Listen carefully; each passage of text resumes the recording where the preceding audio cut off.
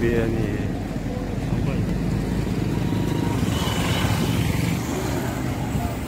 नमस्कार. माझं नाव प्रथमेश भुईर ॲडव्होकेट प्रथमेश भुईर. मी आता आयडियल कॉलेजला आलो आहे नीटच्या एक्झामसाठी माझं मी माझे पालक पाल्ले आहेत त्यांना एक्झामला घेऊन आलो आहे इथे पालका मुलांना अकरा वाजल्यापासून आतमध्ये सोडायला सुरुवात केलेली आहे. अकरा ते सहा मुलं आतमध्ये राहणार आहेत. अकरा ते सहाच्या दरम्यान मुलांना कुठल्याही प्रकारचं फक्त जेवण किंवा काहीच अलाउड केलेलं नाही आहे त्याच्यामुळं मुलं अकरा वाजता मुलं जर आतमध्ये गेली तर सहा वाजता त्याच्यामुळे कोणाचं शुगर लो होऊ शकतो कुठल्याही प्रकारचा मेडिकल इश्यू होऊ शकतो. आधीच मुलांना परीक्षेचं टेन्शन आहे. मुलांना एकशे ऐंशी मार्काचा जे पेपर सोडवत तीन तास सोडवा त्याचं टेन्शन परत ते मुलं उपाशी असतील.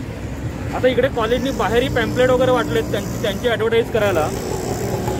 याच्या जागी मुलांना दोन दोन केळे केली किंवा काही खायचं जर व्यवस्था केली असती तर ते बरं झालं असतं. कारण की अचानक मुलं अकरा ते सहा एवढी उपाशी राहणार आहेत. त्यांना फक्त पाण्याची बॉटल त्याच्यानंतर हॉल तिकीट एवढंच अलाउड केलं आहे आतमध्ये. आतमध्ये खाण्यापिण्याची काहीच व्यवस्था नाही आहेत आणि मुलं जवळजवळ एक सहा सात तास उपाशी राहणार आहेत. तर कृपया याचं लक्ष देऊ आणि याचं काहीतरी गव्हर्नमेंटने केलं पाहिजे. याची व्यवस्था मुलांसाठी काहीतरी व्यवस्था केली पाहिजे. धन्यवाद.